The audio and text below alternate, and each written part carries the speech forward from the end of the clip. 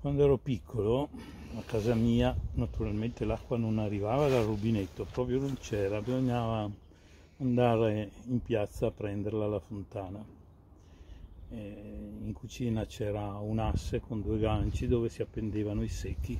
Si andava fino in piazza portando i due secchi con eh, l'attrezzo che si chiamava brentola e, e la mamma mi portava sempre con sé perché non amava molto lasciarmi a casa da solo con le mie sorelle perché magari. E quindi un ricordo particolare una volta a me piaceva molto giocare con l'acqua ce n'era poca e quindi quando si poteva si giocava con l'acqua. E un giorno penso che avevo più o meno quattro anni, ho questo ricordo solo una parte, probabilmente una parte me la ricordo perché me l'hanno raccontata, ma quella che ricordo sicura è la finale. C'era ancora mio nonno che è morto proprio quando io avevo quattro anni.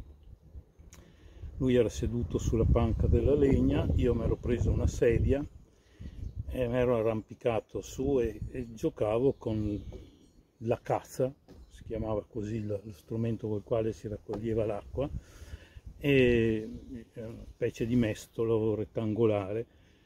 E raccoglievo e giocavo con l'acqua, la buttavo via, la sprecavo, quindi eh, questo voleva dire che quando era finita bisognava andare a prendere di nuovo in piazza. Il nonno ha cominciato a brontolarmi, a brontolarmi e io eh, a un certo punto arrabbiato gli ho tirato una, una di queste cazze, di questi mestoli di acqua.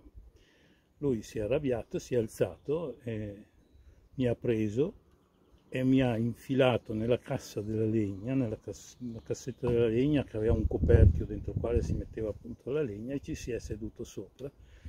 E io ricordo questo momento in particolare, il buio, piangevo, mio nonno seduto sopra, io non potevo naturalmente sollevarlo finché è venuta mia mamma a tirarmi fuori. Insomma. Questo era, è il ricordo finale, quello ce l'ho sicuro e anche l'impressione di vedermi a tirar via l'acqua, però insomma poi i ricordi di bambino molto spesso è perché vengono raccontati poi dagli adulti. Un altro ricordo invece più, più chiaro, perché avevo già 5-6 anni, ero un pochino più grande, che mia mamma mi portava sempre anche alla fontana quando si andava a lavare. Lì c'erano due fontane, una per lavare lo sporco e poi l'altra per risciacquare e per tenermi tranquillo mi dava sempre un fazzoletto, un pezzetto di sapone e, che, che così potevo lavare anch'io, mi occupavo il tempo.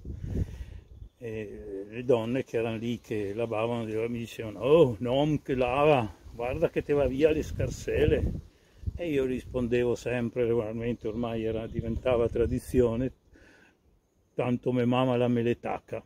Ecco, questi sono due ricordi particolari che avevo legati all'acqua.